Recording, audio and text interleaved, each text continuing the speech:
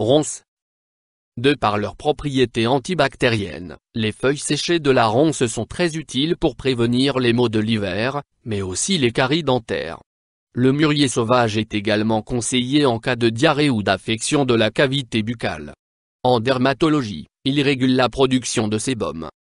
Forme et préparation, infusion, décoction, teinture mère, macérat glycériné. Propriété médicinale de la ronce. Utilisation interne.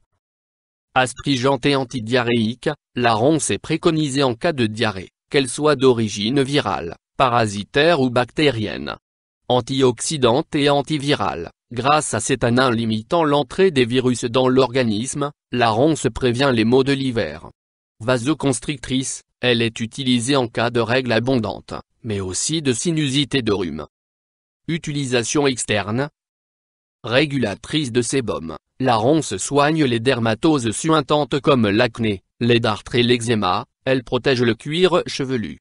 Astringente, en bain de bouche ou gargarisme, le mûrier sauvage traite gingivite, angine, pharyngite et névralgie dentaire.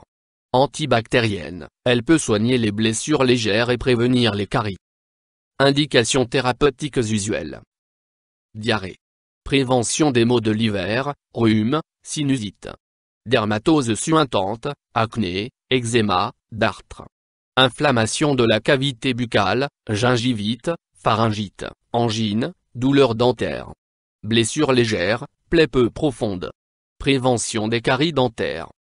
Autres indications thérapeutiques démontrées.